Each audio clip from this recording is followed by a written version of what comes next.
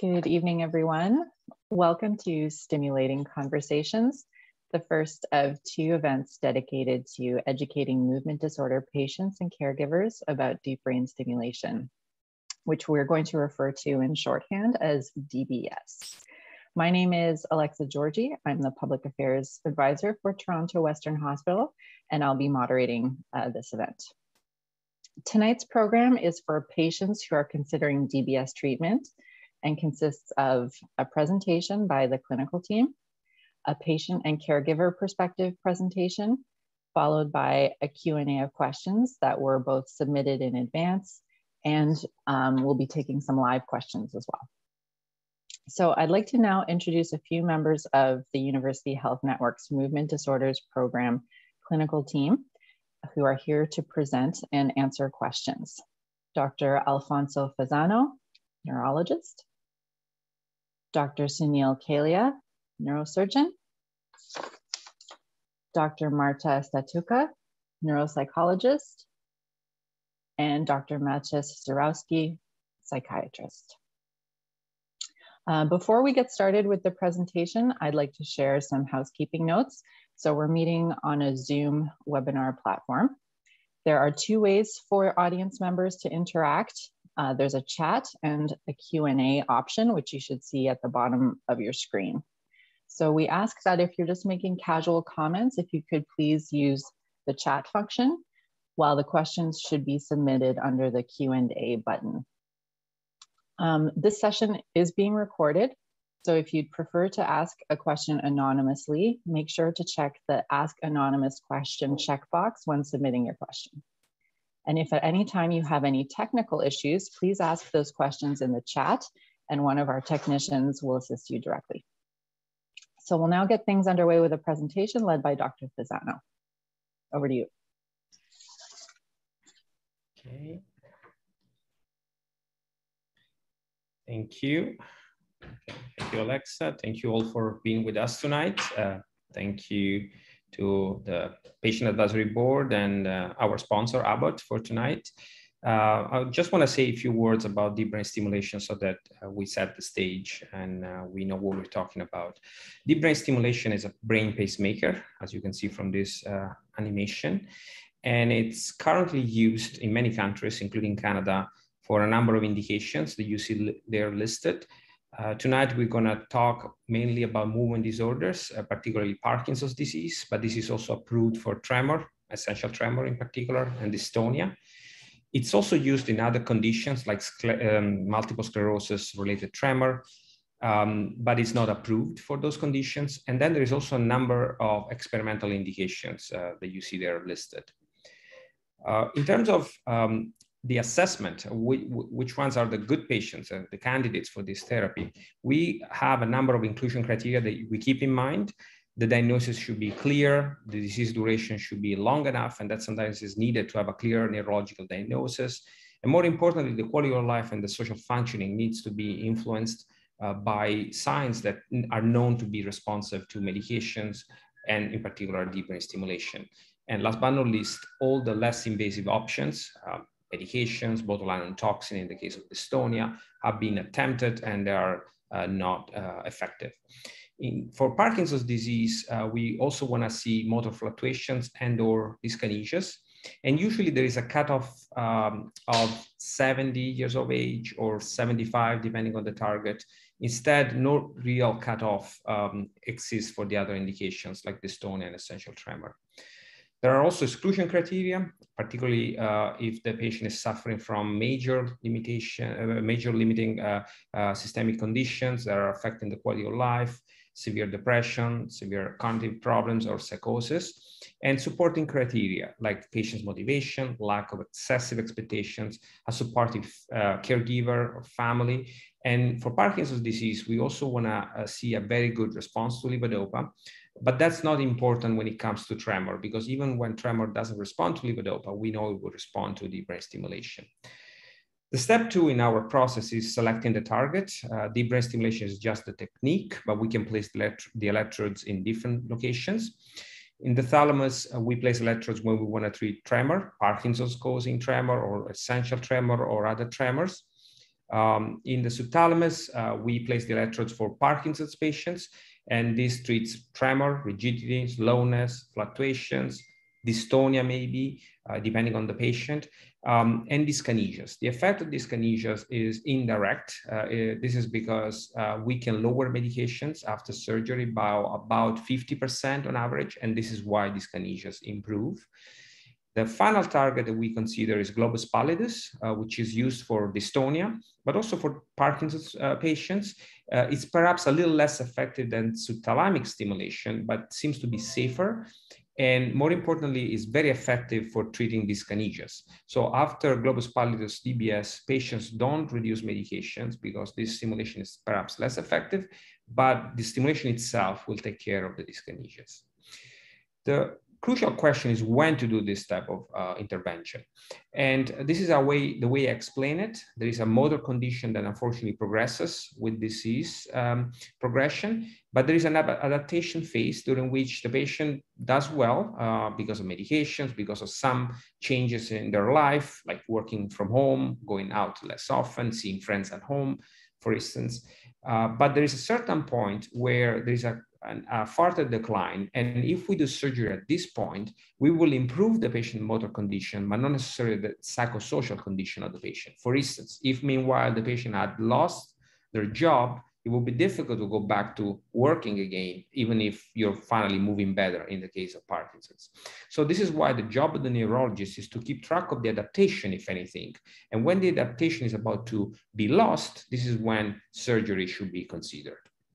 Uh, this is my last slide, uh, just to describe more or less what's a DBS flow. Uh, there is a referral, uh, for instance, to our uh, center coming from neurologist, uh, but you can even ask your own neurologist and they can tell you why you are a possible candidate or why you are not. Um, and then you get into our three steps assessment that I just explained. And finally, there is surgery. You meet the neurosurgeon before, of course. Uh, we discuss your case uh, uh, in our uh, monthly meetings, and then surgery happens. Usually, the stay in hospital is pretty short, um, three days usually, a little longer sometimes. And then a month and a half, two months later, we do the programming. The programming takes place in about three to six months, so it may take time for the stimulation to be optimized. Um, and then at this point, then you're followed by, by us or by other neurologists with expertise in this field and you might need to have a battery replacement every three to five years, depending on the battery consumption. In some cases, you might have a rechargeable system, a rechargeable battery, and in this case, the, the, the battery replacement can take place uh, uh, at longer intervals. Uh, and with this, I thank you all for your attention and over to the next uh, speaker.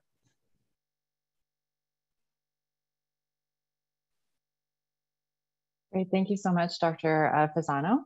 Um, I'd now like to turn things over to um, Darlene, who is going to give us a perspective um, as a caregiver for somebody who received DBS treatment. Excuse me, over to you, Darlene.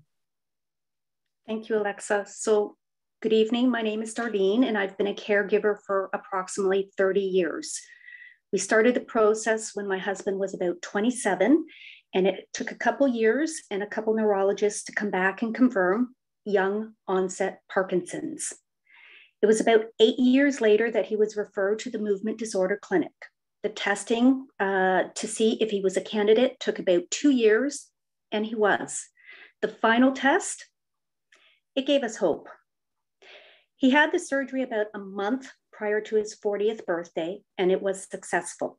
He went from being in a wheelchair to walking with a rollator walker to eventually a cane. He went from maximum meds, reducing down, to eventually none. I know everyone is different, but it reset his meds and he could walk. There were bumps in the road, detours, like issues with the programming and the rechargeable battery, but we worked through them. It's now routine for him to recharge his battery here at home every few days. We're approaching 17 years this February since his surgery. He's had five battery changes. Four were regular, one rechargeable. The rechargeable was November 2019. So, what did the surgery mean to my husband? It released his rigidity and his pain. It reset his meds and gave him the ability to walk again. But again, everyone is different. What did the surgery mean to us? It gave us hope and it gave us some control back. So, in short, I want to thank you for the opportunity to share our story and for the Movement Disorder Clinic for putting this together because I think it's really going to make a difference in helping you make a decision. Thank you.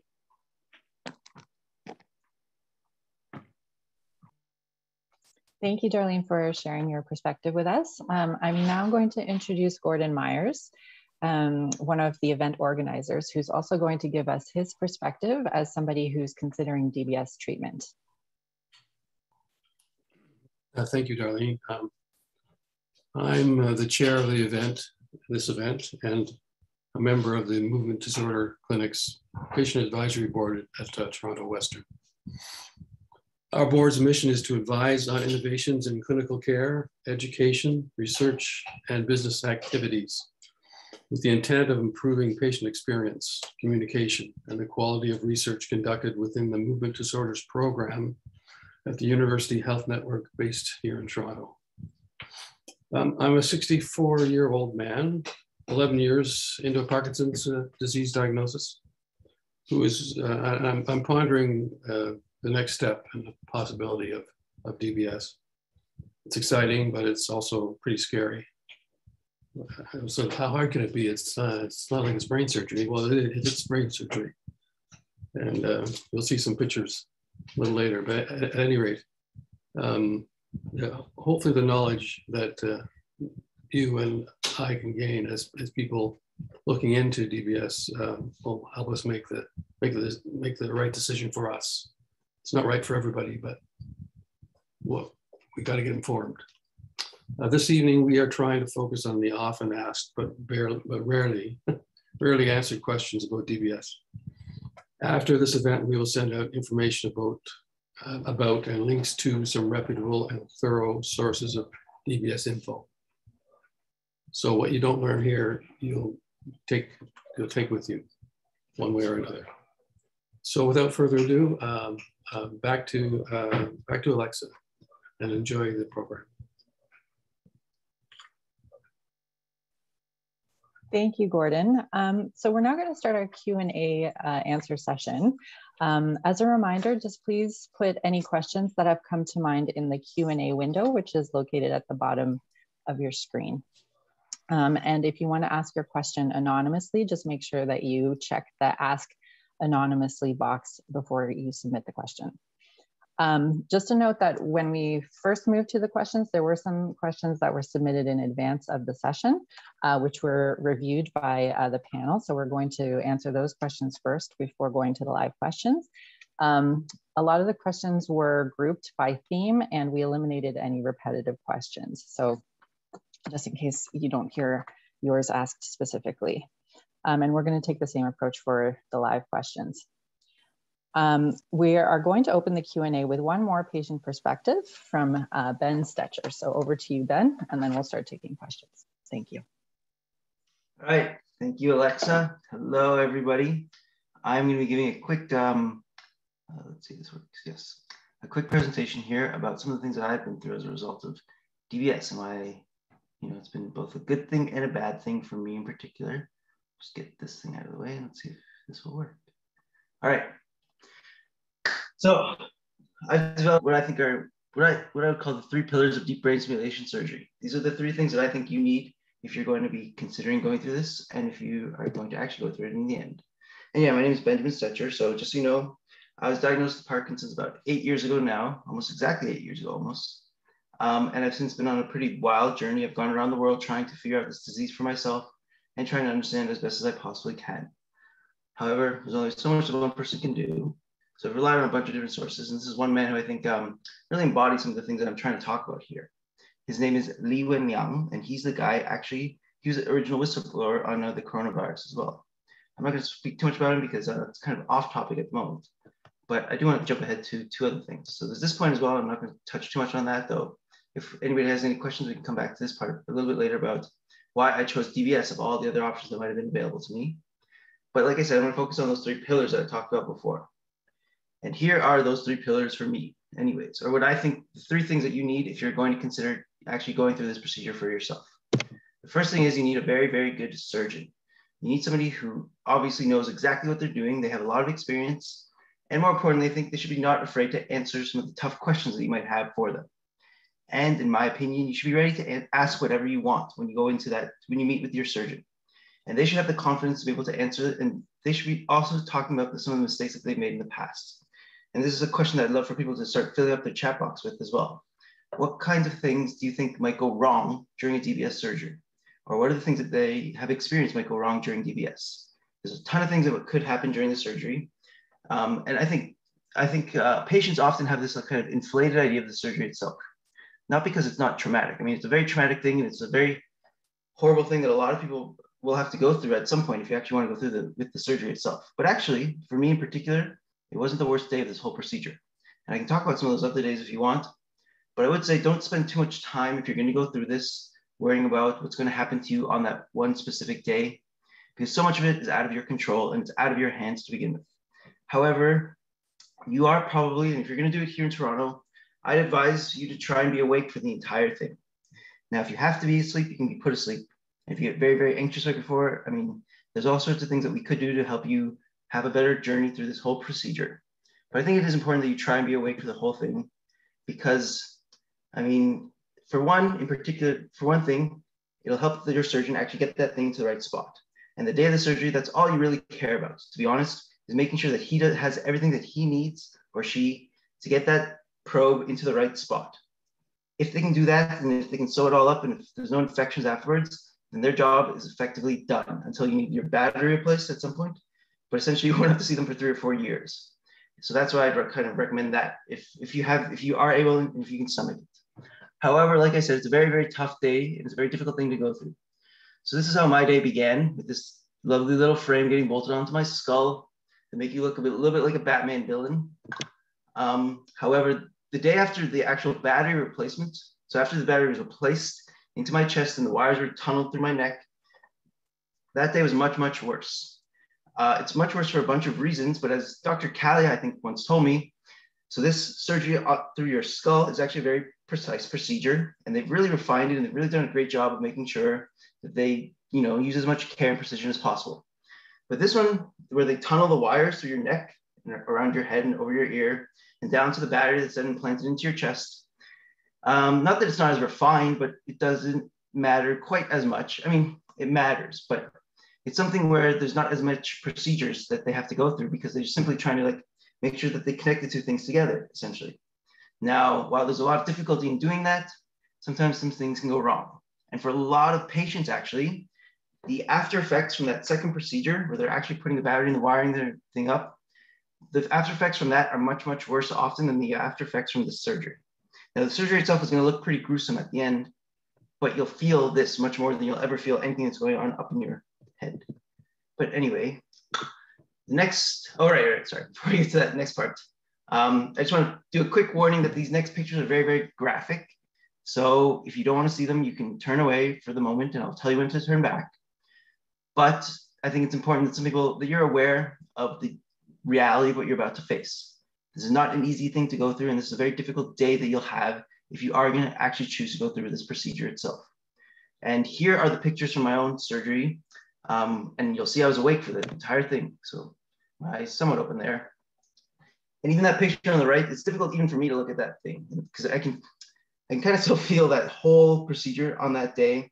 And if I really focus, I can kind of like close my eyes and like think about that whole experience that I went through but it's it's not an easy thing by any means, and you have to be able to stomach it, and you have to be ready for that as well. Um, but like I said, this wasn't even the most difficult day of this whole procedure, and it came with one little kind of weird bonus as well, which is I got to hear the sound of my own subthalamic nucleus. And I forgot to turn on that button that I was supposed to turn on at the beginning, but it's okay. Really, it just sounds like a Geiger counter, so I don't think you'll even be able to hear this even if I try to play it. But let's see what happens. And anyway, can somebody can alert me if they don't hear anything.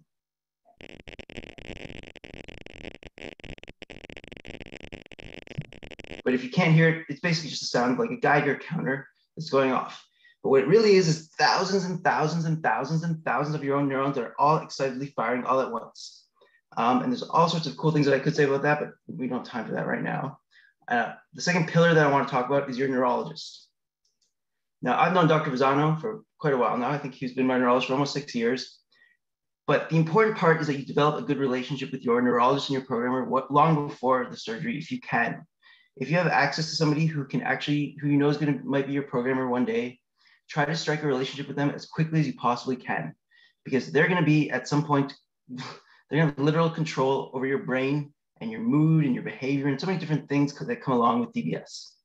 Um, I'll speak, uh, if you, anybody has any questions, I'm more than happy to talk about those as well. But it is very important that at some point you establish, you find the right person for you in particular, because everybody needs, I think, somebody a little bit different as well. And I think more importantly, you find somebody that you can trust implicitly as well. Because you're gonna have to know this person very well, and they have to know, more importantly, know who you are very well as well. And just something quickly about U of T in general is that I feel very grateful and very lucky to be where and when I am today.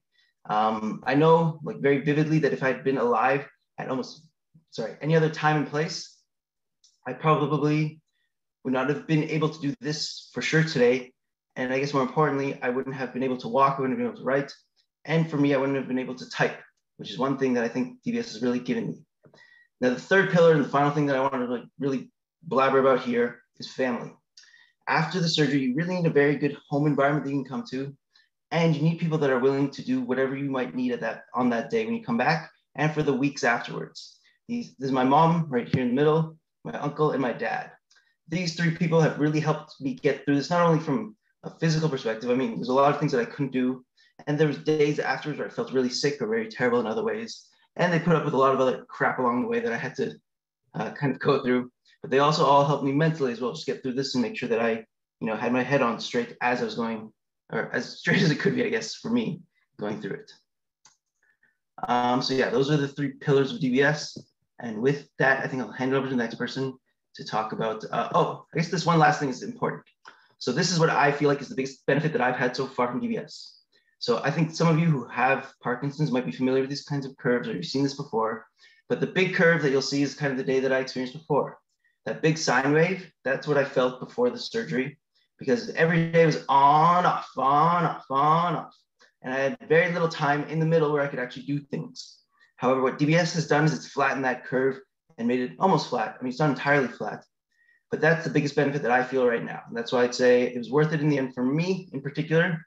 But anybody's considering it has to think very carefully.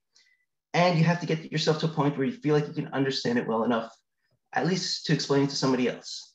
And that's the number one rule that I would say about DBS in particular. Well, aside from those three pillars, once you have those in place, make sure you get yourself to a point where you're comfortable explaining it to somebody else. Hopefully the next patient that might be behind you in the process, or maybe a family member or a loved one or somebody to that degree. Because you have to have some understanding what you're about to go through. One, if you're gonna sign the informed consent to begin with, and then two, more importantly, if you're gonna be comfortable enough going through this whole thing for yourself. And with that, I'll stop talking and hand it back over to Alexa now for the rest of the show. Thank you, everyone. Thank you so much, Ben, for that presentation.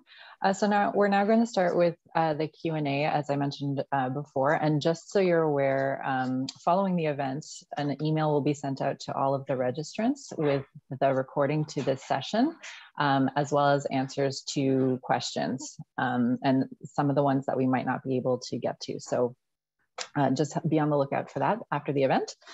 Um, so as I mentioned, we're going to start with the questions that were submitted by registrants prior to uh, the session, and some of them have been grouped and we eliminated repetitive questions.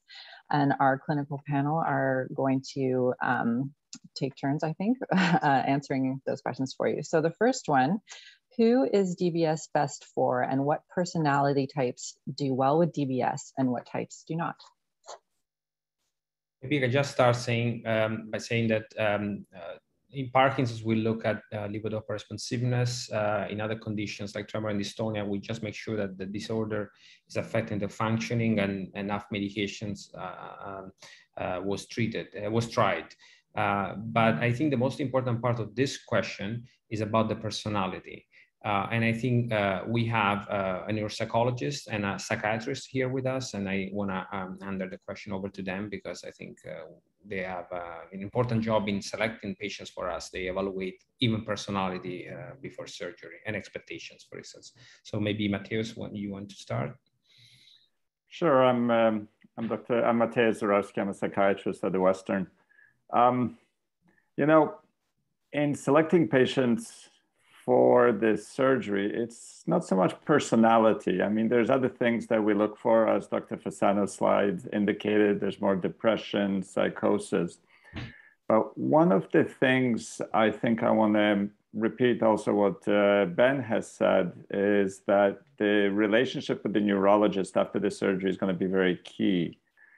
And um, with surgery, you are letting go a little bit of control of your medications. As much as it's painful to have the ups and downs of medications, with surgery, with deep brain stimulation, Dr. Fasano or another neurologist is going to be helping and programming the device. The control is to some extent out of your hands.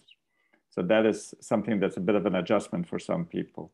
But it's not necessarily to say that there is a personality type that uh, is best suited or unsuited for this surgery.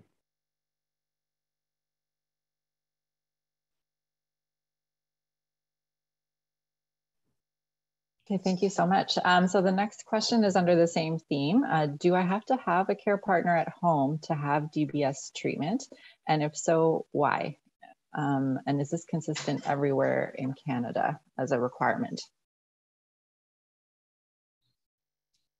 Well, again, um, I can start. Um, we always evaluate the caregiver, the family, uh, because uh, as you heard before from, from Ben, uh, sometimes stimulation can cause uh, slight personality changes. Uh, sometimes people may, uh, may develop mania. It's very rare, but it can happen. If and if if the patient lives alone, it's difficult for us to really appreciate uh, what happens in real life. Uh, on the other hand, especially when we lower medications and, and we do that too fast, patients might develop depression, apathy, um, in the past, there have been uh, cases of suicide. We don't see suicide anymore because we learn that we need to reduce the medication slowly, we need to monitor, and that's now much better.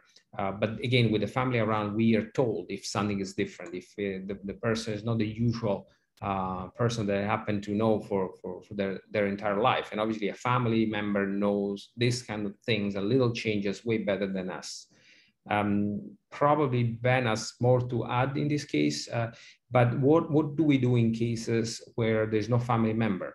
Uh, there's always a friend, there's always someone else that can come with the patient and at least uh, be around and check even with a phone call once a week. We, we don't necessarily want to have someone 24 7 with the patient, but we want to make sure that there's someone in their environment, someone in their surroundings that can keep an eye on them and let us know if things don't do the way we predicted. Um, in some cases, we have seen also family members that maybe were living far and they moved uh, with the person that underwent surgery for, for a couple of months just to make sure that everything was fine and then they moved back. Uh, so there are creative ways to, to overcome this issue, but it's important to have someone around for sure.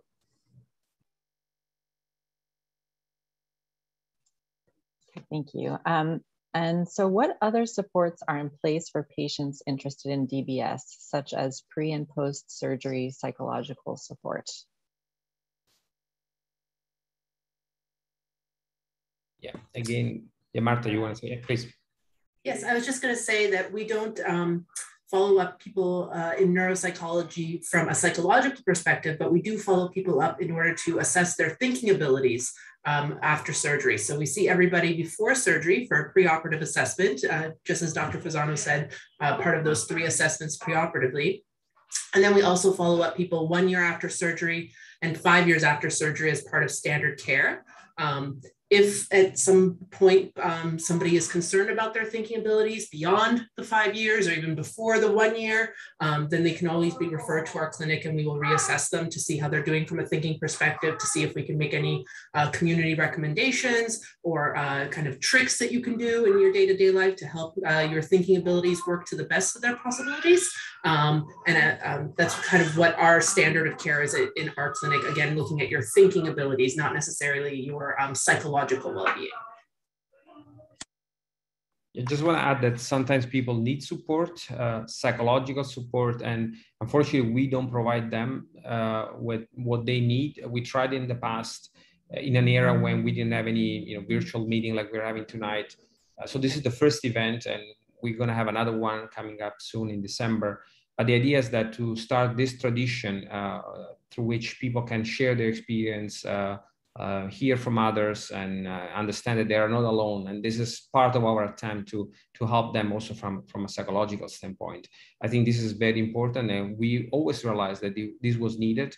And maybe, if anything, one of the advantages of the pandemic is that it, it, taught us how important it is to be connected even with virtual platforms and maybe that's the way to, to, do, to do it moving forward you know there is also if i may add there's a couple of things. Often what we do is the assessment is actually quite a few months ahead of time of surgery. That's what it has been before covid.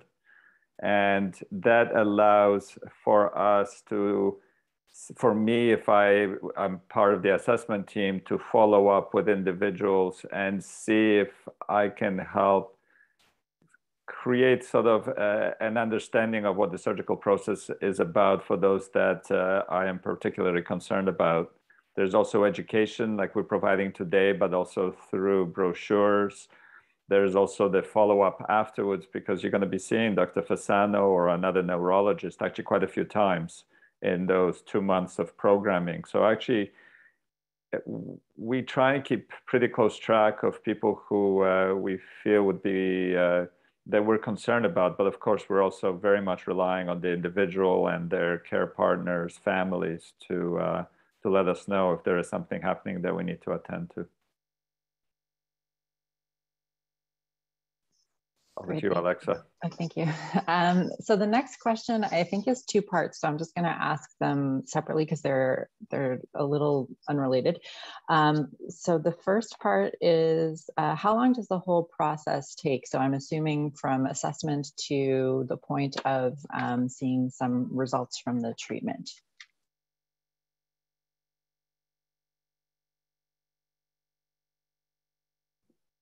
I can I can take that. Um, so so we work as a team. I think we want to also get that across to everybody, and um, uh, we have a great team in place at the Krembil. And so the journey for for the patient, as uh, Dr. Fasano showed on the slide, has multiple stops along the way. So the analogy I use with with our patients is is at each stop it's it's like green light yellow light red light. This this is a quality of life intervention so the bar is is very high um, uh, for us to deliver this safely. So at each stop we're determining um, if dbs is a right match for, for a patient um, uh, with Parkinson's or other movement disorders.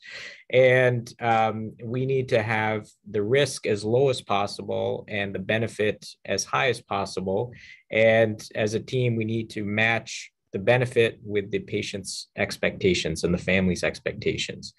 Um, with COVID, the timelines have, have now become a little bit complex, but as a team, our goal was to get someone from the first referral to uh, the assessment for surgery uh, through surgery and programming within a span of 12 months. Um, the wait times fluctuate and COVID has slowed things down a little bit, uh, but pre-COVID, that, that was the window that our team was trying to, uh, to work in.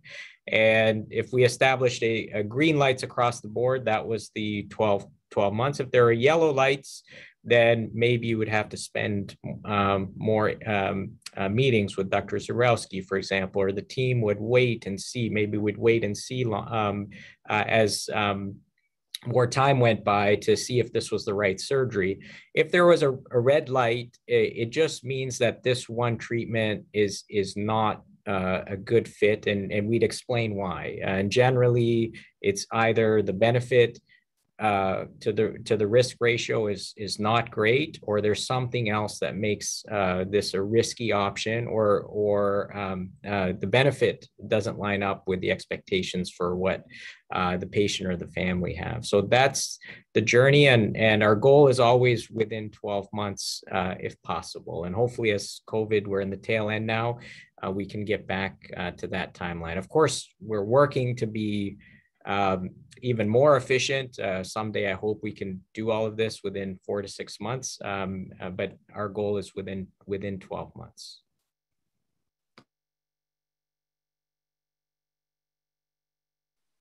Thank you. Um, so the second part of the question, um, is there a risk of if I don't start the ball rolling now, I'm going to miss my window or not hit my optimum time?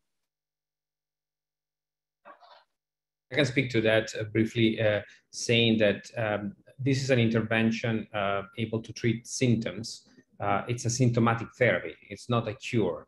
Um, and therefore, uh, when the time comes, uh, when the famous adaptation I was telling you about before is lost or about to be lost, then is when you need to do surgery. Um, there's no reason in doing it earlier.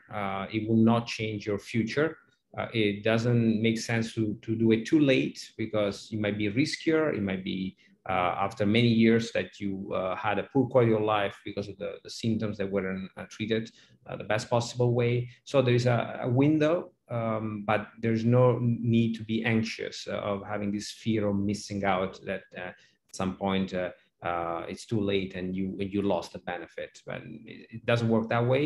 Uh, clearly, you need to be in touch uh, with a neurologist that will monitor your progression, speak about uh, your problems, um, and and discuss when it's time to be referred. There is a sweet spot as well. As Dr. Fasano has suggested, it's if you do it too early, you risk, right? Surgery is a risk. So, and what you want to do is find the time like our job, what we try and do is make sure that this is a procedure that will help your movement. But then on your part, you have to come to the conclusion that this is the time that you want to take the risk because the symptoms are bothersome enough for you to warrant the risk that you're going to take. So, because if you do this too early, what you try, you're, you're risking actually not being happy with the outcome because there's risk here. Something may happen or Mm, you're letting control letting go of this control of managing your own medications and somebody else is controlling your symptoms and you may feel that you are actually managing them reasonably well by yourself prior to surgery. So there's a sweet spot. And what we try and do is say okay we can help you with these kinds of things but then you have to decide okay are these the kinds of things that are bothering me the most at the present time so that i go ahead with the procedure and I just wanted to add a little bit about and add on to what Ben had said earlier that people kind of come to the process at different stages. Uh, some people will be in my assessment and ask, Are there any cancellations for tomorrow? I'm ready to go. Let's do this. Uh, and other people um, are sort of feeling out the waters and just testing, Are they even a candidate? Um, and sometimes people decide that that time is not a good time and they might years later, 10 years later, I've recently seen somebody um, who decided that the first time around that it was not the right time for them. And then they decided later as their disease progressed that now they're, they would want to consider the surgery. Um, so it's important to come to events like this and learn a little bit more about it and see, is this something that, you know, is, is important for you that you want to learn more about? Do you think you're a good candidate? And again, sometimes that changes for people. People feel out the waters and decide it's not the right time and maybe later is, and maybe it's not. It's not for everybody as, uh, as Gordon has mentioned before as well. And, and going back to my uh, green light, yellow light, red light analogy, uh, of course, someone who's undergoing or thinking about undergoing the procedure, you're on the team, your family's on the team. So you can hear everything we have to say, and you can put a yellow light or a red light at the end of it. Um, I think as you're picking a team to work with, this this is definitely not because it's a quality of life intervention.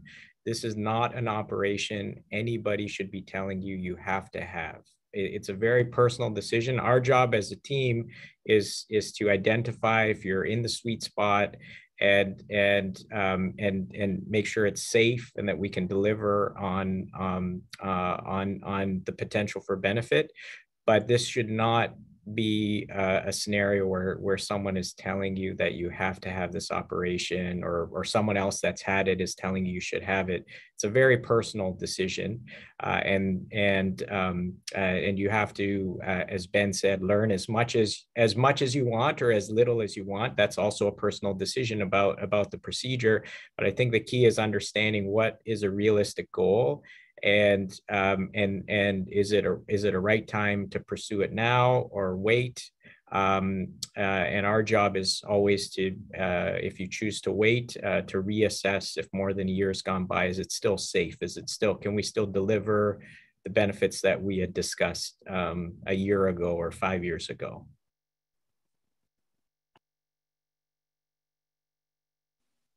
Okay, thank you very much. Um, so moving on, we're going to look at good and bad outcomes. How do you measure whether a DBS procedure has been a success? Do patients use different measures than clinicians to measure success?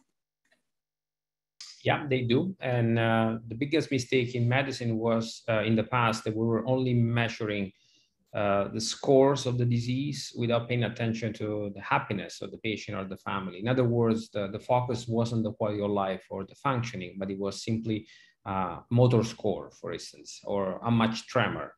Uh, we are now trying to um, uh, think uh, the same way, and we yes, we still use this doctor skills that we need to just to keep track of what we're doing and if we're doing the right thing from a scientific standpoint. But more importantly, we we we see what's the satisfaction level, and and I think that the easiest way to assess success is simply asking the patient, would you do it again? Because obviously there are pros and cons. As you heard already, there are many things that don't do well. It's not a everything is fine or everything is bad. There, there are little successes and there are uh, little problems. Uh, and at the end of the day, the, the, question is, would you do it again? And I would say 99% of the time, patients say yes. Um, so obviously that's, uh, I would say pretty good, especially when there's a good selection. Uh, but clearly there is a proportion of patients that are disappointed. Um, uh, they, they were expecting more or they're completely uh, disappointed to the point that they wish they never met us. Uh, this is obviously not common, but it can happen. And our job is certainly increase education, trying to explain the, uh, the good and the bad of deep brain stimulation so that the expectations are set uh, beforehand, but also to understand uh, from our mistakes. And um, medicine is making progresses at any level and also deep brain stimulation. It's been around for over 30 years. It's not experimental. It's really an established therapy. And uh, over the years, we, we learned how to make it better. Certainly, we're far from being perfect, uh, but at least we're seeing improvements.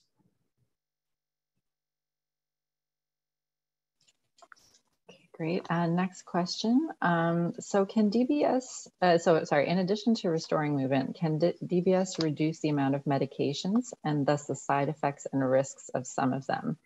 How, um, let's start with that because this actually has uh, three questions in it.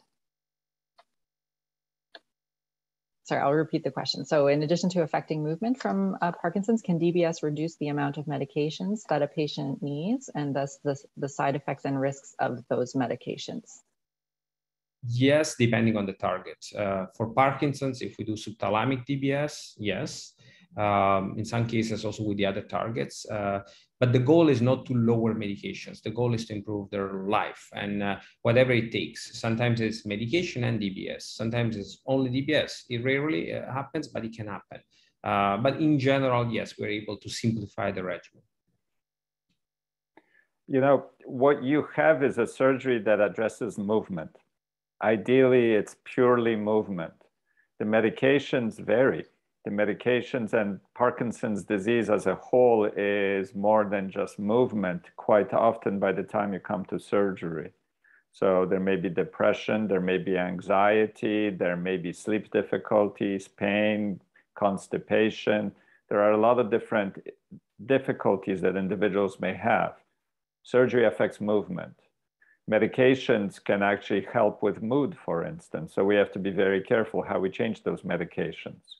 So there's a whole bunch of balancing that has to occur with the programming and possible changes of medications that we are assessing and following, assessing prior to the procedure and following after the procedure, because these are going to determine your quality of life afterwards.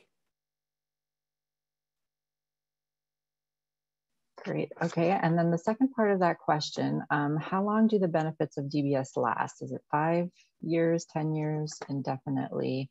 And what happens once um, it stops working? Yeah, that's a very good question. It's a common question. Um, and there is not a single answer because DBS is not a therapy for the disease, it's a therapy for a number of symptoms.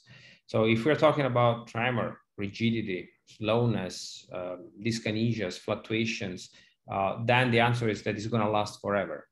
Uh, but unfortunately, we don't stop the disease progression. So, and obviously, I'm talking about Parkinson's now. So if because of Parkinson's progression, there is balance problem, uh, cognitive problems like memory disorders or hallucinations, DBS is not going to help. And, and what's left is what is not treated. And it looks like DBS has stopped working. But we now know that if you turn it off, for instance, things are much worse. Uh, so it, it, will work for many years, ideally forever, for specific problems, uh, but it won't treat everything. Put it, putting it another way is is a, is at different phases. Uh, how how do those problems that DBS helps with impact your quality of life. Uh, so as Dr. Fasano says, in those specific things that DBS helps, it, it will work 15, 20 years. As doctors, we can measure device on versus device off. But if some of the other things in Parkinson's are now impacting your quality of life that the DBS doesn't help, by that measure, um, you you can say the intervention is no longer improving your quality of life. Uh, it's neutral uh, to to the quality of life. So so that's another way of looking at it. This is a quality of life intervention, um, and um, and and that's how how, how uh, it can be measured as well. Okay, thank you. Um, so the next question, are patients realistic in their expectations, both good and bad? and versus uh, doing nothing. So I think meaning do they have a full understanding of uh, the treatment and what to expect? Uh, I would say absolutely not. Even I think I was a pretty well educated going in, and I did not know enough about this whole process. Again, like I said, I thought the day of the surgery would be the worst part. Well, the day of the surgery was very brutal to get through. It was not the worst thing that I've experienced since. Um, so don't place too much emphasis on that one day and yeah, don't expect to know everything either, because I guarantee you, no, nobody can know everything at this point. Uh, I've, I've toured the world. I've tried to I've tried to educate myself as best I possibly can, and even I do not feel adequately prepared for everything that I've experienced since. Um, the other thing, but I actually would have a question for everybody as well, for the other panelists, if you don't mind, about the process itself and which parts of it do you think that you should, you could, or could be improved going forward? Because if I'm being frank, I would say that if we're still doing the same thing and we're still getting the same outcomes today, as we are next year, the year after the year after, then we're not really doing our jobs properly. I mean, we should all be trying to improve every year. We get we should be getting a little bit better and better and better at this. But there's one other point that I want to make about U of T in general, and that is that I had a choice of like other places that I could have gone to if I really wanted to, but I still chose U of T and this great team here because of the well, for there's a lot of reasons, but um, Canada is a great place to have this kind of surgery done for one. And to the team around you that we have here is really one of the best in the world. And I can say that very confidently because I've been all around the world and I've met all, well, not all, but many of the best teams that we have on this planet. And there's there's no other, there's no other place I'd rather go than here to get it done. But there's still things that can be improved even in a place like this. So I guess I'd just be curious to know from each of you, which part of your own process or the process in general do you think should be or could be improved as we continue to try to improve this technique going forward? Um, yeah, thanks for the comment, Ben. Uh, I'll start as usual, uh, try to be uh, quick because I know there are many other questions that we need to answer. Uh, for sure, there is room for improvement at any stage and any step of the process that I mentioned. Uh, if I can pick one or two, maybe the first one is patient selection. Clearly, there are uh, aspects of the disease or the diseases we treat that we don't understand. They are very heterogeneous. Parkinson's disease is not a single entity, it's a syndrome, and same is for dystonia or tremor. And we are now using, for instance, genetics, trying to understand which patient is better candidate uh, versus the others. And we're trying to get better with biomarkers. And the second part that needs improvement, is, this is probably the most important, is the post-operative care, not, not just right after for programming, but over the years we we are, for instance, one of the few centers in Canada doing DBS, and we are probably the ones with the largest volume. And we have so many patients that sometimes it's difficult for us to uh, be fast in replying emails or phone calls or seeing them on urgent basis. And we have postdocs, fellows coming from every corner of the world to help us. And thankfully, they come to learn from us. But without them, we'll be even in a much worse condition. But certainly, we should do more to expedite the appointments after surgery. I'm sure that it's common experience, common frustration to all of our patients that they want to get a hold of us and it takes it takes days sometimes for them to, to speak with us. And from the surgery side of things, uh, Ben, um, eh, we, we also teach uh, the operation um, in courses and fellows.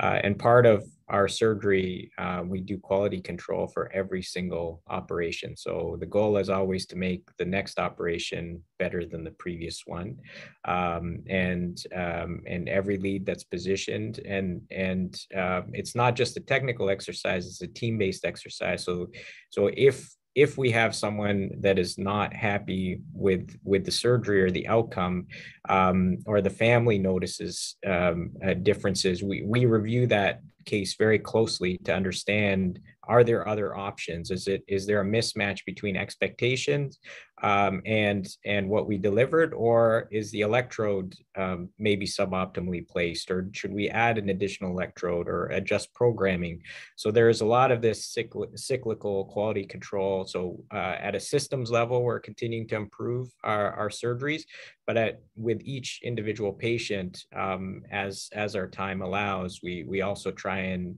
uh, see if we can um, improve uh, the outcome. If there are any reversible or addressable things that we can do uh, to improve the outcome. So I, I think there is this iterative process that occurs.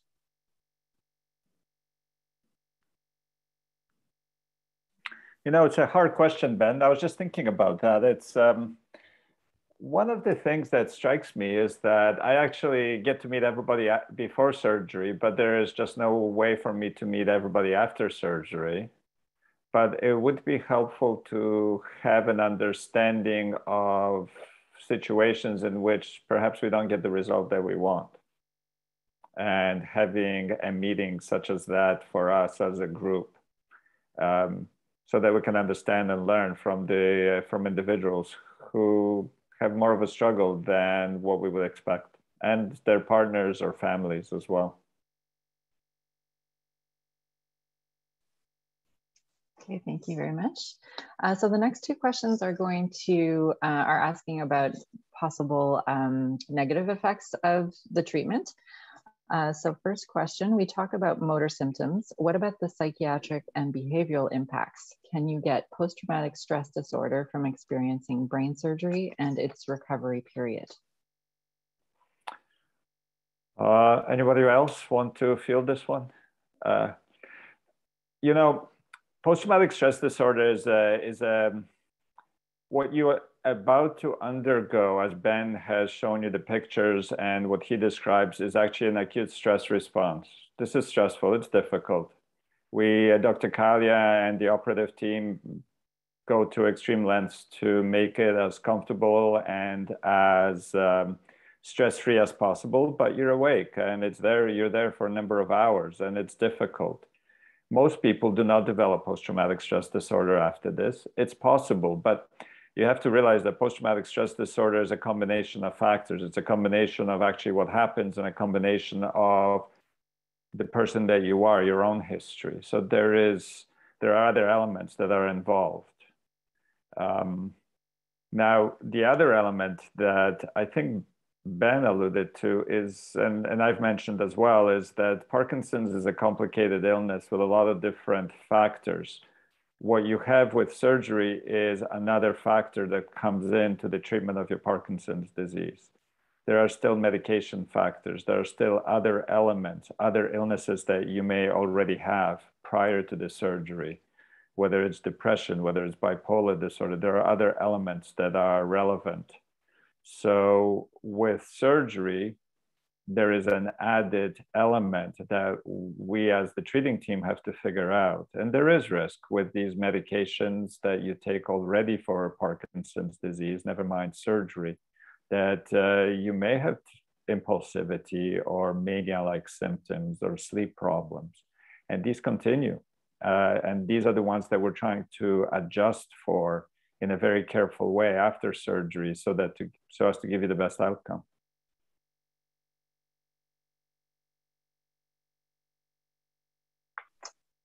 Thank you. Um, and this one more about physical activities. So what activities can't I do after having uh, DBS? Um, and there's a list of activities, flying, swimming, contact sports. This is, uh, I think, a question for the surgeon because I usually tell us tell patients do what Dr. Kalia or the other surgeon said. So please, Suneil. Yeah, no, I think it's a great question. I think once you heal completely from the surgery, and we give you uh, working guidelines, this is not an exact science, but I tell people once once every once you're completely healed, uh, and depending on the activity, it's a period of eight to twelve weeks. Certainly, the day after surgery, if everything goes well, you can walk around um, within a within a week or two. Um, walking outside, um, uh, uh, we we tend to tell people to avoid lifting heavy things across the chest, so no push-ups, uh, just so the the computer that's implanted in the chest that heals nicely and doesn't move around. But after you heal, um, I say uh, no restrictions. You know, if you're going to parachute out of airplanes or do kickboxing or something like that, there, there's always uh, a, a, a small risk to to fracturing or breaking the wire, breaking the device. So so just so everybody understands, if that happens, we can fix it, but it means more surgery to fix. Um, so the whole goal, uh, it's a difficult procedure and there's uh, really multiple marathons, of the marathon of the assessments, uh, then the surgery marathon, um, and then of course the programming marathon. And once you've gone through those, um, the way I look at it is you deserve to, whatever your quality of life improves, whether it's squash, swimming, golf, tennis, any of these things. We do uh, say one caveat though. We say I, for all my patients, I tell them if at any time anybody you come in for an adjustment for a medication or an adjustment to your stimulation, to practice for 15 or 20 minutes, whatever it is that you do in a, in a safe environment. So if it's swimming, you know, practice in the shallow end um, with any new adjustments for 15 or 20 minutes before jumping into deep water, um, squash or tennis, hit the ball against the wall. But really the goal is to, to do what you, what you like. So no real restrictions from my perspective, once you fully heal. Uh, I worry about the people that get back to things within the first six weeks while they're still healing, um, because uh, the device it's it's annoying. The battery, the computer in the chest can start moving around on you, and the only way I can fix that again is is we would have to do a bit more surgery to get that back in position. So, so um, that would be my answer to that question. Uh, if I can, I'd just like to add one quick thing to that, though or maybe a question as well back to Dr. Kalia. But I'm wondering because I have noticed in myself, and I've seen a lot of patients as well report that there's some kind of like weird disbalances that they experience between their left side and the right side of the body. Um, and I notice this while swimming or biking or doing a lot of different activities now, they're just harder to coordinate sometimes. So I'm wondering if you could speak to that and if it is as common as I think it is. I, that's a good question, actually, for Dr. Fasano. I can speak briefly. Um, uh, certainly, uh, with, with the device, when if you are having both sides of the brain done with the programming, um, uh, there they're um, uh, the programs are different on both sides, and the disease is also asymmetrical. Uh, so changes with programming may be may be more noticeable. I I I, I bet you it, it, it is more common uh, than than we notice, uh, Ben. Just like you like um, you're describing, um, and I think that's where it's important when you come back for your programming visit uh, to um, uh, to try to relay that to the team. Um, our teams have a short time with you uh, at these programming visits, so so come with that, um, you know, a, a, a diary or or something that says my left side in swimming now isn't isn't the same as the last setting. But I'll let Dr. Fasano um, continue the answer to that question. No, no, you, you said it all, Suneil. Over time, you you became a neurologist basically, and uh, so that's the answer. I think. Uh, just a note on programming and fine tuning programming. Sometimes we ask patients to help us uh, with the programming. They might use a remote control uh, to to adjust uh, you know, one side over the other, exactly for situations like the one Ben uh, was describing. there is another way to program patients. who just got approved in Canada uh, which is available with certain devices, uh, which is uh, remote programming. So in the future, we'll be also able to program patients uh, while they're home and we are in our office using the internet. And obviously this is something very useful in a situation like uh, the pandemic. and again, this is another example how the pandemic has accelerated certain aspects of modern medicine in a good way.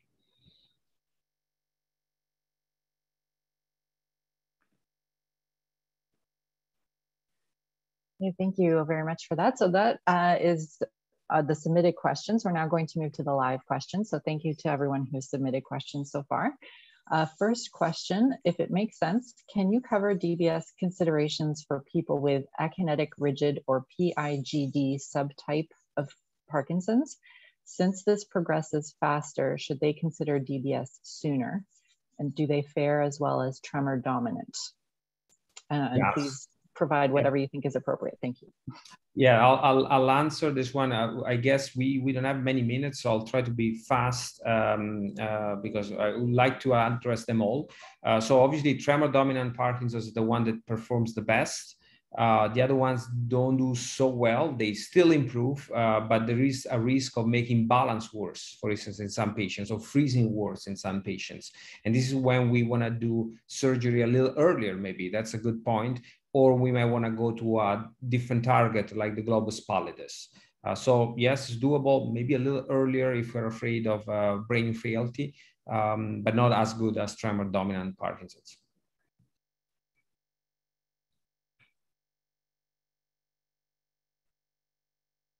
Uh, thank you very much for that. Next question, what is the possible side effects of the DBS approach?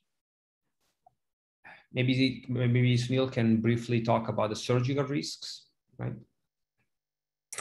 The the I, um, so there's I think you can put them into two different categories the the risks and the side effects. So specifically with with this as as mentioned at the beginning so we're clear this is a brain operation.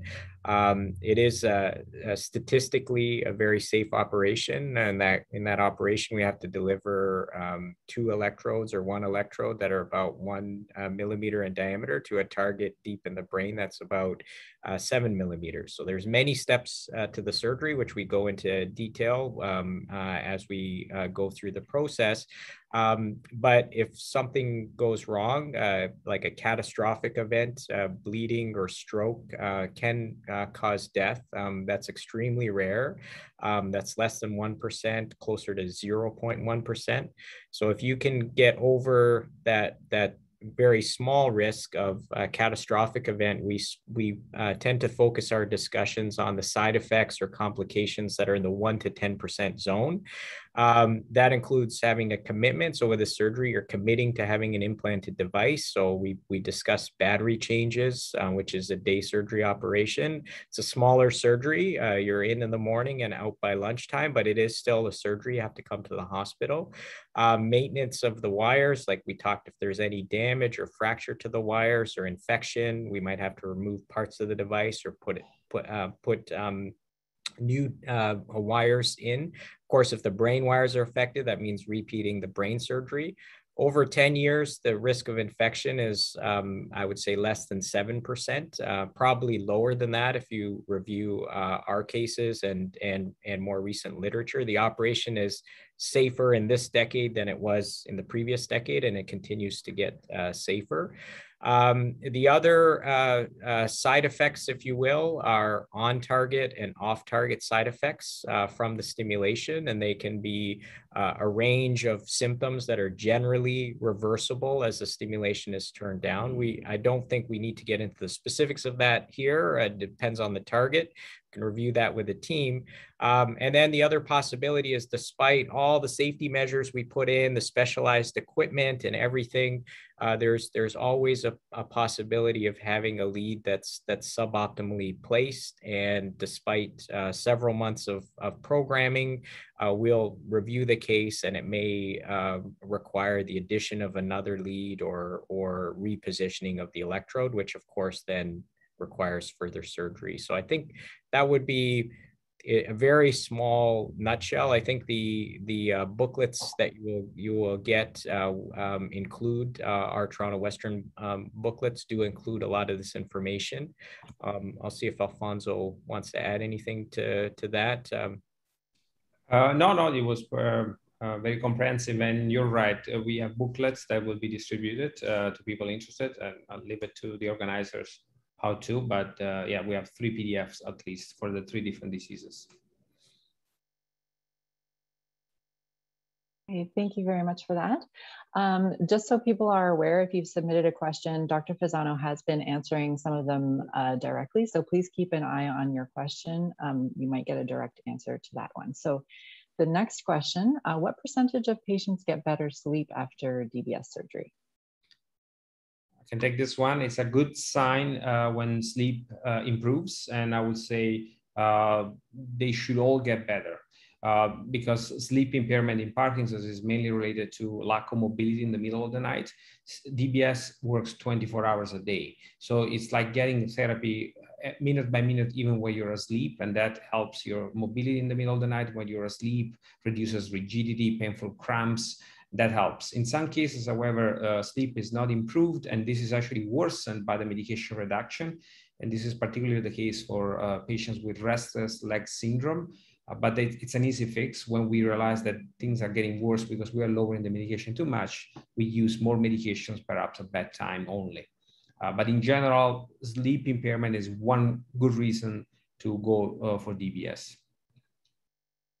And I'll just add that oftentimes the, the improvement in sleep also leads people to feel a little bit fresher during the day, more alert, more attentive. And um, when they come to see us at that one year post-operative assessment, um, they'll often say that they feel like they're clearer in their thinking, they're better able to concentrate because they are sleeping better. Um, so it doesn't necessarily, uh, DBS doesn't necessarily directly affect people's thinking abilities and improve them, but that improved sleep, sometimes the reduction in medication, all those things um, kind of have um, a nice effect on people's subjective feelings about their thinking skills, that they're clearer, they're better focused, um, and they're better able to kind of um, concentrate and perform thinking tasks that they, they like to do in their day-to-day -day life. Great, thank you for that. So the next question is for Ben. Uh, ben, you started talking about the wire harness in your neck. Can you please continue? Sorry, the wire harness? What's a wire harness? Oh, the thing that was like bolted into my skull, I'm guessing or the wires through my neck. I'm not sure which one. Uh, well, I can talk about both quickly if you want, but um, so yeah, that bolting, that that giant frame that I had in my head, I had to wear it for about six or seven hours on the day of, because and one kind of little funny story that I can tell at the beginning is that um, I remember that there's an emergency case that came in as my surgery was supposed to be starting as well. So that meant that I and my case was like I think it was June 1st or June 2nd, which was very soon after we actually lifted some of the COVID restrictions. So the OR was pretty full with people. So every kind of patient that walked by, they would look around and they would see me. I was because I was just waiting like very close to where the operating room was. So they'd see me almost as soon as they walked in that door, and they they'd have like this quick look of shock on their face just seeing my that those two like frames, those things with those frames bolted in. However, the frame itself is very annoying as well. It was actually probably one of the worst parts of the whole procedure just because having that weight on your head for so long is difficult. Um, and having so much pressure like all around your skull is difficult. There's no real pain associated because your, your scalp is basically frozen. So you don't feel it very much. I didn't really feel any pain other than the stabbing of the needles. Um, and I, I guess Dr. Kalia had a lot to do with that. He seemed very kind and very per personable the whole way through. Although there was one point where he told me to be quiet for a little bit because I had to like do some of the microelectrode recording. Um, but if you're talking about the wiring through the neck, uh, I'm not I'm not sure what could be done at this point to improve that process. Other than hopefully, I hope one day there might be a wireless brat battery. Um, maybe that would be a good question to ask actually of the hope of Dr. Kalia and Dr. Fasano. At what point might these things improve to the point where it might actually be worth it for you to tell a patient, if you wait six months, you'll actually have a much better chance of getting something much better very soon. Um, I don't know if that's off topic or not, but I don't know if you want, who wants to address it first? Well, that's a big question, uh, and uh, it taps into the uh, technology and how it advances. And sometimes we know what's about to come, and but it's hard to predict. In the past, I've said it, uh, and some patients have said, wait a little longer because something else is coming. So we, we keep a radar, on our radar what's happening. Um, so to answer your question in short, we keep that in mind when we talk to patients.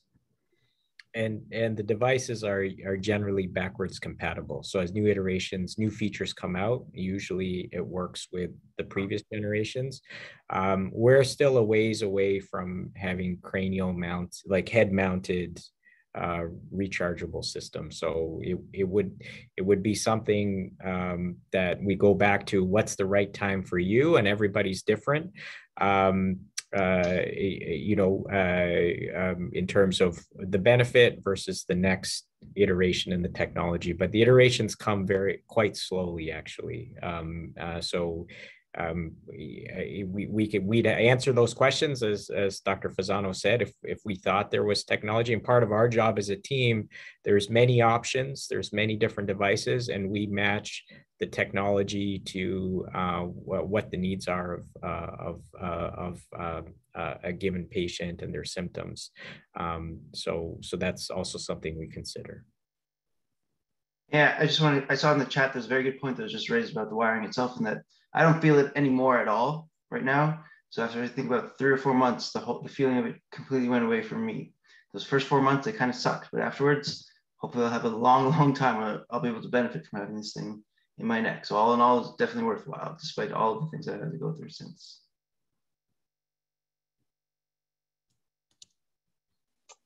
Great, thank you. Um, so at this point, this is our last question. So if anyone wanted to submit uh, more questions, the floor is open. This question is also for Ben. Uh, what would, oh, sorry, we just got another question. Okay. Uh, so Ben, what would you have researched uh, that you did not? What should you have paid more attention to, in your opinion? Um, I think it's just what I said before. I focused too much on the day of the surgery itself. I didn't really understand anything that came afterwards. I thought the surgery was going to be the worst of the whole thing, the whole ordeal. And, and I guess in many ways, it, like it's definitely the most traumatic day that you'll go through.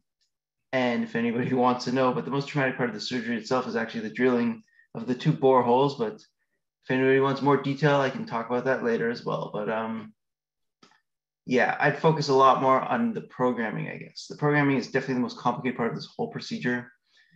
And prior to, I didn't give it much, pay much attention because I thought that surgery itself was going to be the most traumatic thing, but it's actually the programming that's far, far, far more important. Well, they're both like equally important, but once again, you don't have much control over where the leads are.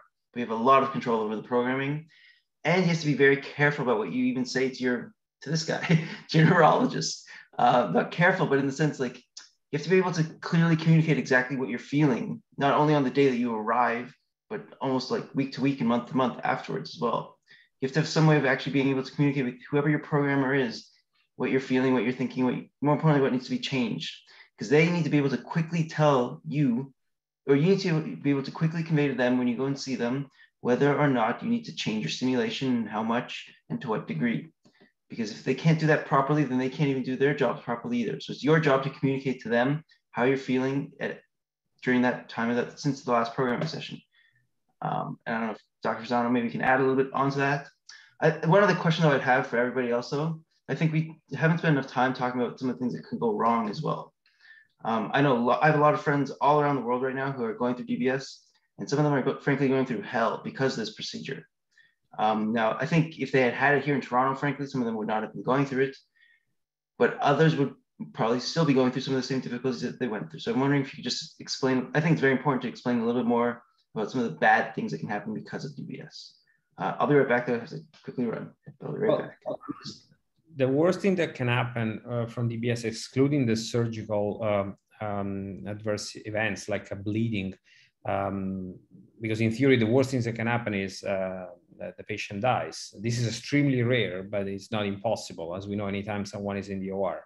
Um, but I guess that, that there are two different scenarios. One scenario is when patient gets surgery and there's no improvement or there's not the improvement that was expected to be seen is not seen. And unfortunately this happens happens even when we think the patient will be perfect. Uh, there is a certain variability. We, uh, like any human activity uh, there are limitations and we are not perfect even though over the years we kind of realized which ones are the factors to keep track of. But the other thing i want to say is that in some cases dbs itself can make things worse and this is particularly the case of wrong diagnoses. I have seen that there are a number of questions about PSP, or if you want even multiple system atrophy. These are the so-called atypical Parkinsonism or Parkinson's plus syndrome. And often they are mistaken for Parkinson's at, at the beginning. And the reason why we don't do the operation in these patients is not simply because we know that it doesn't work, but because we can make things worse. In other words, if the brain is too frail, and in these conditions it gets certainly more so than you will expect in Parkinson's, having a brain operation on top it doesn't make the brain happier. Uh, and after surgery, there, there are worsening, uh, there's worsening of uh, balance, speech, cognition in some cases. The same can apply to people with cognitive disorders and surgery can make the con- con- cognitive part even worse because once again it's a brain operation uh, done to or- an organ the brain that is already suffering. So there is a trade-off between what we can get and the risk. And the paradox is that more the, the, the disease the more an advanced therapy is needed. Uh, so the job of the assessment is really to figure out when it's time to do surgery and when it's safe to do uh, there are different targets if we're concerned concerns about uh, there are concerns about um, um, safety um, or there are procedures that, that are not DBS based. DBS is not the only advanced option on the table, and this is something that we always make uh, make clear when we speak to patients. And this goes back to your presentation, Ben, when you had the the different um, poker, car, uh, poker cards. Uh, it's just one of the options. Uh, if it's not good for you, there are a few things that uh, that can be tried. Uh, certainly less invasive, less dangerous. Uh, but if you can get DBS, I think you should go for DBS because not every person is a good fit uh, for DBS. That's why for us it's the priority.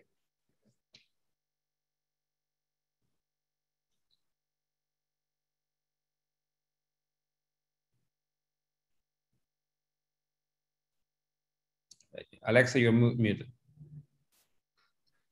Sorry about that. Um, so I am getting some more questions, um, both in the Q&A, but also from the team on a separate uh, device. So we have about five questions now. So the next, so I'll toggle between the two.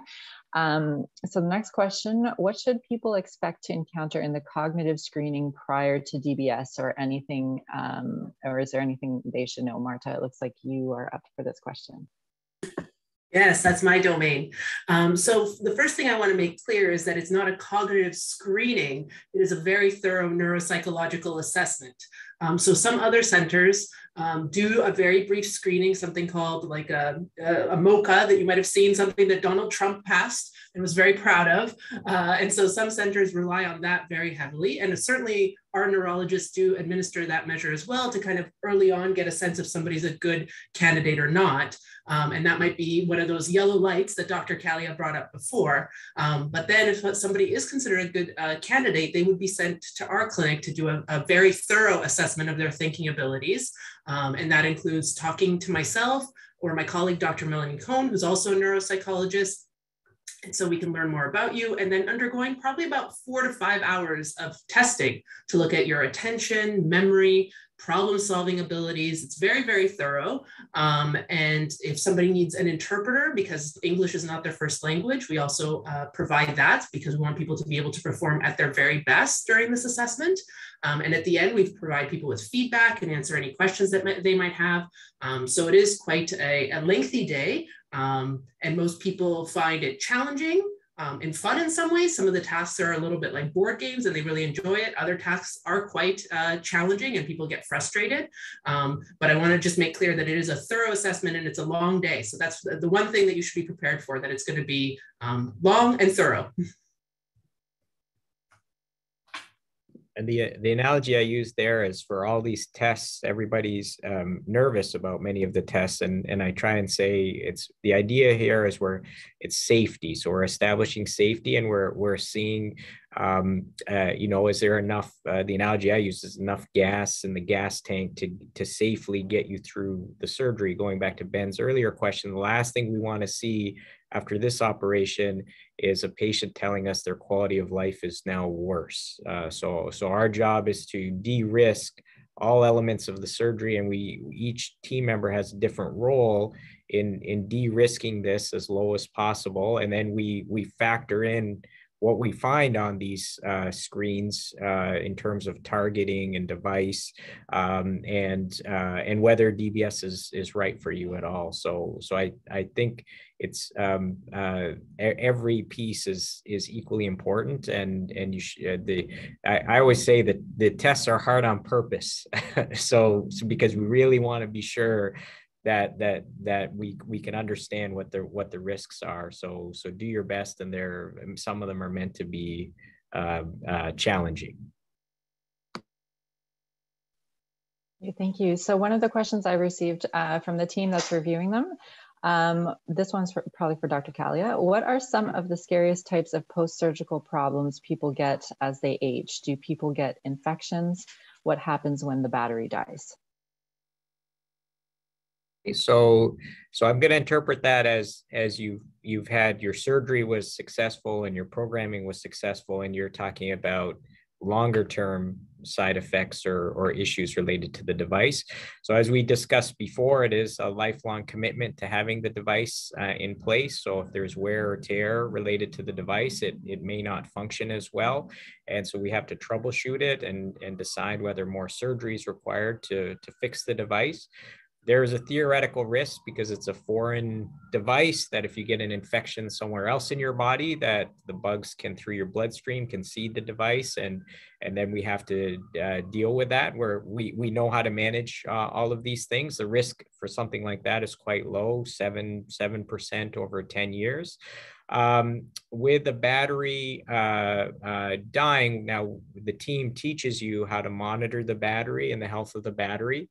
Um, in, in rare cases, it can be a true emergency um, uh, for stimulation. And, and, we, and if, if, if someone's battery goes out and you're sweating, you're having chest pain, those types of things, it's very important to uh, attend the emergency department. And we do uh, so many cases that uh, every year, a few times uh, a year, I, I, find myself having to change someone's battery in the middle of the night or late at night just because they're so unwell uh, off the therapy. It's helping them so much.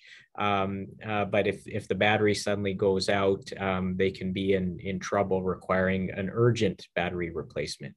We like to avoid that if, if possible. And so uh, we, uh, as, as part of the visits with, with Dr. Fasano and his team, you can monitor the the um, uh, the the, the health of the battery, if you will, and um, and then we'd like to schedule the battery replacement as scheduled surgery. It's day surgery, in in the morning, out by lunchtime generally. Um, uh, so th- those are the things that come with with the commitment, the hardware side of things uh, with with the device.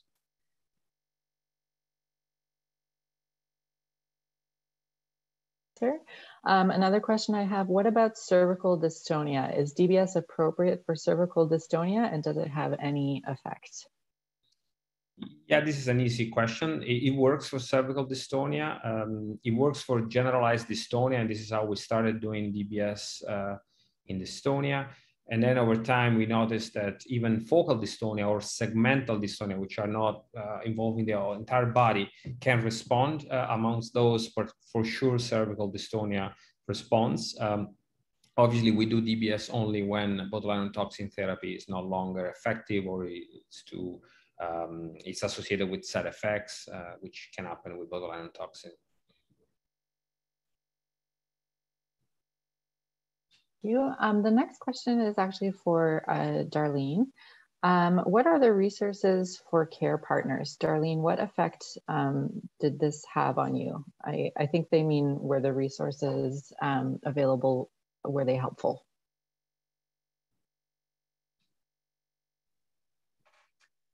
Um, the program has progressed, obviously, since the 17 years since my husband had the uh, surgery. Um, the resources are the team that you see in front of you. Um, they're our second family. If we need something, we reach out. Yes, sometimes it may take a, a day or two to get a hold of someone, but they're there for you. As far as caregiver, um, the Parkinson's caregiver group uh, support uh, I have found very helpful. Uh, they do have a couple different types available depending on where you are within the program, uh, within your journey. Um, and I would recommend reaching out to them. But your first resource, your family. Your second is the team that is hosting this.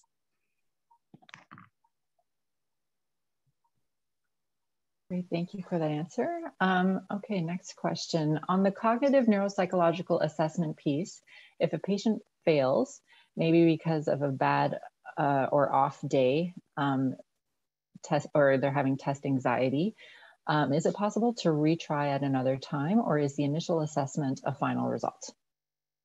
I think Marta, that's for you. Yes, I was literally just typing that in response, so it's easier to say it in words. Um, we absolutely take those things into consideration. Sometimes people are very anxious about the, the testing. Um, sometimes their medications don't kick in that day, or you know other things are happening. They haven't slept well, whatever the case may be. So we certainly take that into consideration when we're kind of thinking about the case and talking about it to our colleagues, like uh, the neurologists and the neurosurgeons and what have you. If we really think that the, the assessment wasn't valid and the, the results aren't true, uh, for that person. Um, we have brought people in to do a few more tests on a separate day. Sometimes we do the whole assessment at a different point. Um, so I think we're very fair. We would never say like, red light, this person didn't sleep, but they did poorly on cognition, on the cognitive testing, and we're kicking them out of the program. Uh, I think we're we're much more uh, attuned to people, and we like to talk to people and hear their perspective on what's going on in that day. Um, so we certainly take those things into consideration. And absolutely, if, if we really think that the assessment wasn't valid or isn't true for that person, we, we could bring them back on a separate day and repeat testing. Uh, one thing, if I may add, Marta, uh, maybe you can comment on, is that it's not just the test itself, it's also the history that you take, right? You're really interested in how people are doing at home and so on. I don't know if you want to mention that one. Yeah, absolutely. We talk to we we spend a lot of time with people. Um, like I said, the assessment is six hours, and it's not necessarily that you're six hours with me. A part of it, you're working with our assistants who do the, the test administration. So we get to know people pretty well and we get to know about how things are going at home and like i said those different factors that might be coming up for somebody interfering with their ability to perform at their best. I mentioned earlier an interpreter. If somebody comes to the assessment and they thought oh i could do this in english. I've been living in canada for 10 years and then they come and they're like, "Ooh, this is too difficult to do in a, in English," we can have that person come back with an interpreter so that again that they can perform at their best. Um, so we do really kind of take those things into consideration. And a neuropsychological assessment like i mentioned earlier what we do is not just test scores. It's kind of taking all those things into consideration so we need to know what kind of education you completed, what kind of work you did in your life, um, because that'll help us have expectations. If somebody comes to me and says, um, you know, I was a neurosurgeon at Toronto Western Hospital for 25 years, and now I, I'm having a cognitive assessment, I might have different expectations about how they would perform as opposed to somebody who came and said, you know, I didn't graduate from high school and I really struggled in school. I haven't really been able to hold down a job for my life. Um, so I'm going to have different expectations for how that person should perform on testing. And that's why it's so important to, to know more than just the test scores so that we can kind of interpret them appropriately.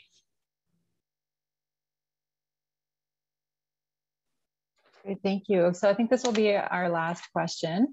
Um, so from up here, um, I'm a psychologist and I work with, with DBS uh, for four years. In my experience, the patient who has not psychologically processed the news of their uh, of the diagnosis of Parkinson's disease often needs support after the DBS uh, treatment. Many patients experience a moment of disappointment. Um, from having had DBS in the five or six months after the operation.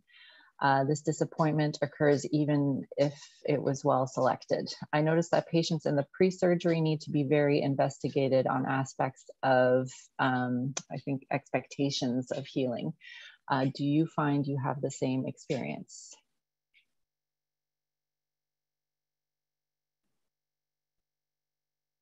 You know, You're muted, Mateusz. this is a tough question in, in some ways. It's, um, um, you know, in some of the research that we've done with Parkinson, people with Parkinson's disease, uh, about a quarter of individuals with Parkinson's disease don't actually think they have the illness. And there is nothing like having holes drilled in your head for your Parkinson's disease that brings home the fact that you do actually, in fact, have Parkinson's disease. So it's uh, the reality hits, and the reality also hits that for many people, this is the final treatment that they can hope for at this time. So this is the best in many ways that technology has to offer at the present time. And it's good, it's actually very good, but you still have the illness. There are still other elements here that are ongoing. We do not, we cannot at the moment manage all of them through this intervention. So yeah, at a certain point, once the programming is done, and it's usually around that six month, five month mark, there is that coming down to the ground and realizing, yeah, okay, things are better, but you know what? I, you know, I still would like to uh, be able to golf the way I was golfing, you know, a few years ago when my movement was better. Or there are other elements that, mm, you know, are not improved. So yeah, the feet hit the ground, and uh, the realization is that things are better, but they're not perfect.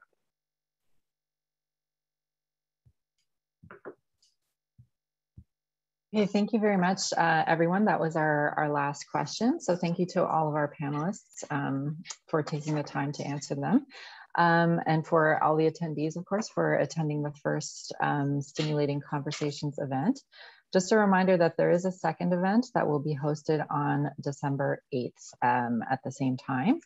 And as I mentioned earlier, um, all everyone who registered for the event will receive um, an email with the recording of this event and um, you'll be able to review the questions and answers uh, that were asked both through the recording and um, through the chat, I believe.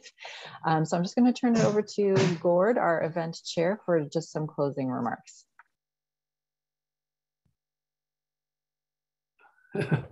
Yes, uh, well, uh, my, my head's still spinning with all the information. I gotta, I gotta sleep on this. Thank you so much to the uh, clinical team and uh, to to the PAB for doing all the ground groundwork and getting getting this thing off the road really looking forward to the uh, next uh, next session in December. Um, I guess that's it. We're done for today. Thank you for joining us.